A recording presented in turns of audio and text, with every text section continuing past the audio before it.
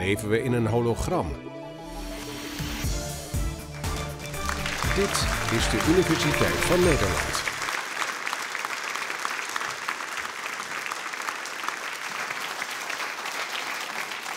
Leven we in een hologram? Het klinkt als science fiction, hè? Maar volgens de huidige inzichten in de natuurkunde is het antwoord waarschijnlijk wel. Alleen het is misschien niet helemaal zoals je denkt dat het is.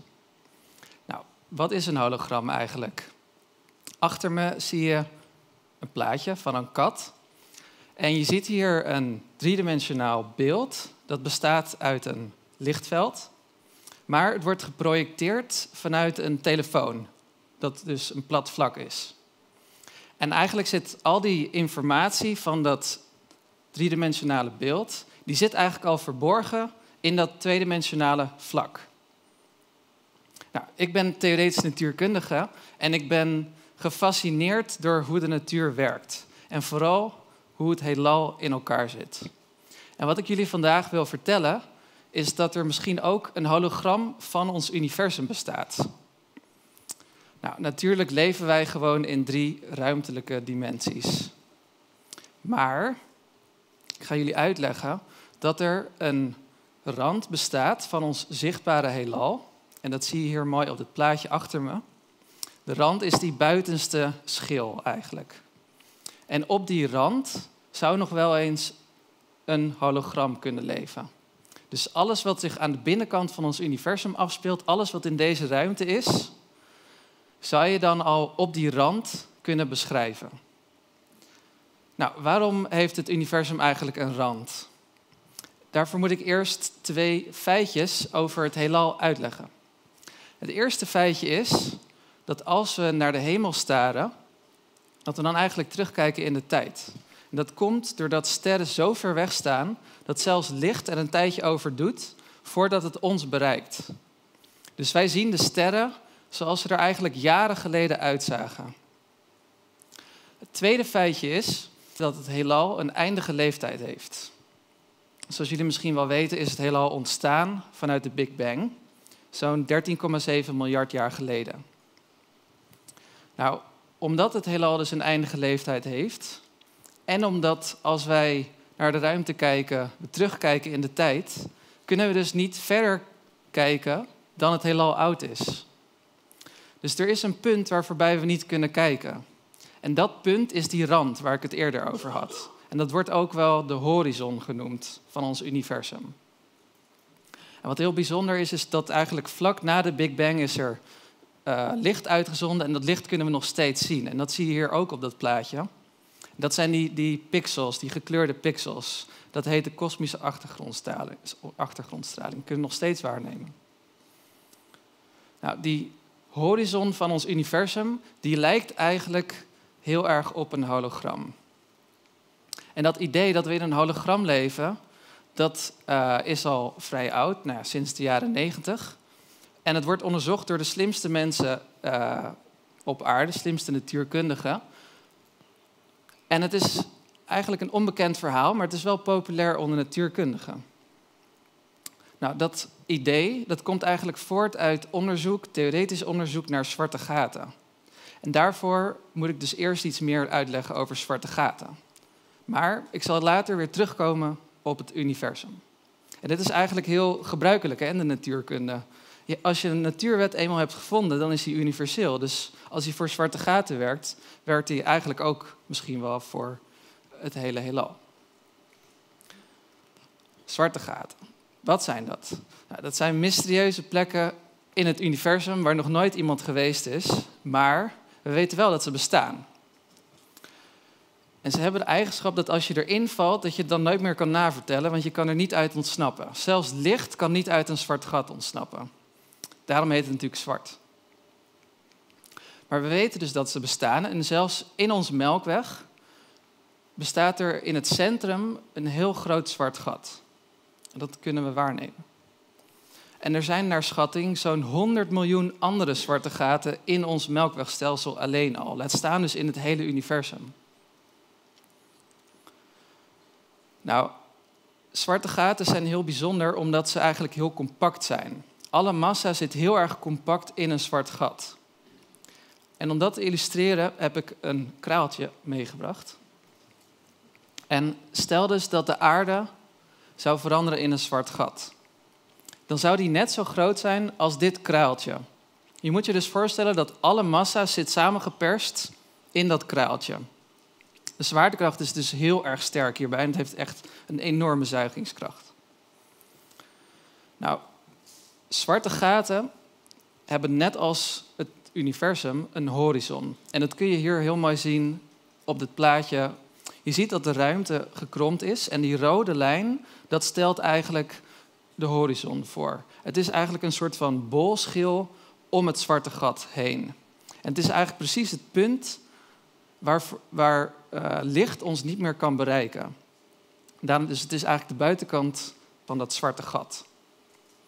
En uh, die horizon die wil ik ook graag illustreren aan de hand van een trampoline die ik mee heb gebracht. Ja, ik heb dus hier opeens een trampoline staan. En um, waarom heb ik dat nou? Nou, je kunt je de ruimte eigenlijk voorstellen als een doek. En stel nu dat dit de zon is, deze jeu en die leg ik in dat doek. Nou, dan deukt de doek natuurlijk een beetje in. En zo kun je de ruimte eigenlijk ook voorstellen. De zon die kromt de ruimte. En als ik er nu uh, een planeet om laat draaien, dan kun je je voorstellen dat het wordt aangetrokken naar die bol toe. Nou, onze aarde die blijft natuurlijk in een mooie baan eromheen draaien, maar andere voorwerpen die worden er gewoon echt naartoe getrokken. En zo werkt de zwaartekracht. Door de kromming van de ruimte worden voorwerpen naar de zon toegetrokken. Nou, je kunt je voorstellen dat als ik nu een zwaarder object erin leg, zwaarder dan de zon, namelijk een zwart gat, dat het dan nog meer induikt. Dus stel dat dit een zwart gat is, bam. Het duikt nog meer in, dus de zwaartekracht is nog sterker. Dus als ik hier nu iets uh, in laat uh, vallen, dan valt het er eigenlijk bijna direct in. Hoppakee. En wat, waar zit nu die horizon? Nou, je ziet dat er eigenlijk een cirkel is hier. Dat is de horizon, waar de ruimte heel erg uh, induikt, waar de ruimte heel erg sterk kromt. En als je voorbij dat punt komt, dan valt deze planeet of dit balletje er sowieso in. Maar als hij er buiten zit, buiten, die uh, kromming, dan kan je, kan je je voorstellen dat het nog met een raket als het ware aan het zwarte gat kan ontsnappen. Zo werkt de horizon dus. En je kunt dat ook goed vergelijken met een waterval. De horizon is namelijk eigenlijk precies dat punt aan de bovenkant van, het water, van de waterval waar je eigenlijk niet wil komen, maar deze uh, kanoer, dat, die durft dat wel. dus stel dat je op een rivier roeit dat uitmondt in deze waterval. Op een gegeven moment is er een punt waarop je eigenlijk niet meer aan die waterval kan ontsnappen. als je bij die waterval komt, dan is het een soort van point of no return. Je valt sowieso in, in die waterval. Dat is precies hetzelfde als bij de horizon. Als je voorbij de horizon komt, dan val je in het zwarte gat. Nou, hebben we nu net al gezien dat de ruimte gekromd is, dat een zwart gat een horizon heeft. En wat ik nu eigenlijk wil uitleggen is dat de, de horizon van een zwarte gat een soort hologram is. Die horizon die weet eigenlijk al wat zich binnen dat zwarte gat afspeelt. En dat kunnen we eigenlijk via een gedachte-experiment aantonen. Denk dus even mee. Stel, we gooien weer iets in een zwart gat dan kun je nagaan dat het zwarte gat, dat die horizon alleen maar groter moet worden. Het punt is namelijk dat een zwart gat eigenlijk het maximale gewicht al heeft. Er kan eigenlijk niks meer bij. Het is zo compact dat, die, dat er eigenlijk geen massa meer bij kan. De enige manier om er meer massa bij uh, te laten, uh, om er meer massa in te stoppen, is dat het zijn formaat aanpast.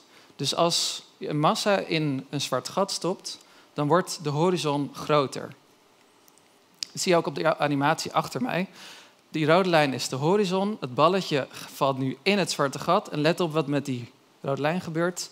Die wordt groter. En dat, dat is dus die horizon die groter wordt. Nou, laten we dit nu natuurlijk voordoen uh, uh, op de trampoline. Stel dat we uh, allemaal planeten erin gooien. Mijn hele boekenkast gaat erin. Wordt enorm zwaar. Dan zie je dat de ruimte natuurlijk nog meer induikt. Er zit meer massa in, dus hij deukt meer in. Maar wat je ook ziet, is dat die, die horizon waar ik het net over had, dat die eigenlijk naar buiten is gedrukt.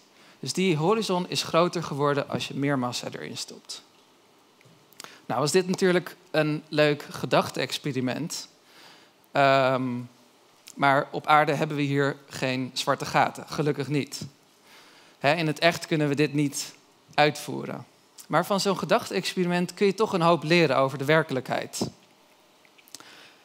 En wat, wat je van dit gedachte-experiment kan leren, is dat de horizon eigenlijk afweet van de binnenkant van het zwarte gat. We hebben namelijk gezien dat hoe meer massa je in de horizon stopt, hoe groter dat wordt. Dus je kunt eigenlijk aan de grootte van de horizon aflezen hoe zwaar het zwarte gat is. En meer kun je eigenlijk ook niet weten over een zwart gat. Alleen nog dat het wat hard, hoe hard het draait. Maar de massa is een hele belangrijke eigenschap die een zwart gat bijna uniek bepaalt. Oftewel, die horizon die tweedimensionaal is, dat was een bol om het zwarte gat heen, die beschrijft het, het zwarte gat dat drie, driedimensionaal is. En dat doet jullie misschien denken aan een hologram. Dus de horizon van een zwart gat is eigenlijk een soort hologram. Nou, laten we nu teruggaan weer naar uh, het universum. Waar wij in leven. En wat we hebben geleerd bij zwarte gaten kunnen we eigenlijk ook toepassen op het universum. Ze hebben allebei een horizon. Dus wat voor de horizon van een zwart gat geldt, geldt misschien ook voor de horizon van het universum. De horizon van het universum is dus misschien ook een soort hologram. Wij leven in de binnenkant, maar op die rand, die buitenste bolschil, daar kun je eigenlijk al de hele binnenkant op beschrijven. Je kunt er als het ware al naar binnen kijken vanuit die rand. En dat is dus het idee van holografie. Nou, dit is ook precies hoe theoretische natuurkunde werkt. Ik heb er al eerder aan gerefereerd. We hebben twee vergelijkbare situaties, zwarte gaten en het universum. En als je een natuurwet vindt in het ene, dan wil je die eigenlijk ook proberen toe te passen in het andere. Denk maar aan Einstein. Die schreef eerst zijn zwaartekrachtstheorie op. En later bleek dat die eigenlijk op heel veel situaties van toepassing was. Namelijk hier op aarde, in ons zonnestelsel en in het heelal. En misschien is dat idee van holografie wel ook niet alleen van toepassing op zwarte gaten, maar ook in het universum. En dit is eigenlijk wat nog niet aangetoond is, maar waar uh, veel theoretische natuurkundigen onderzoek naar doen.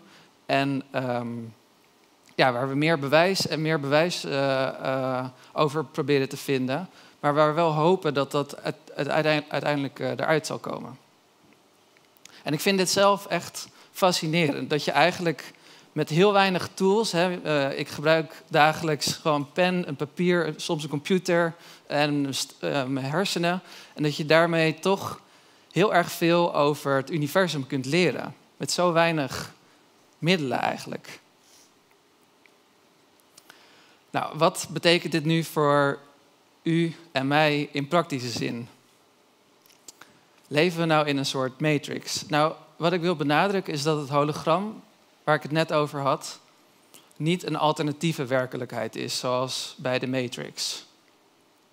Het is eerder een andere manier om, ons werk, om dezelfde werkelijkheid te beschrijven. En dat vind ik heel erg spannend. Dat je eigenlijk op een totaal andere manier naar ons universum kunt kijken, maar dat je toch heel erg veel leert over hoe de natuur in elkaar zit. Dus leven we in een hologram? Nou, waarschijnlijk wel, maar niet zoals in de Matrix.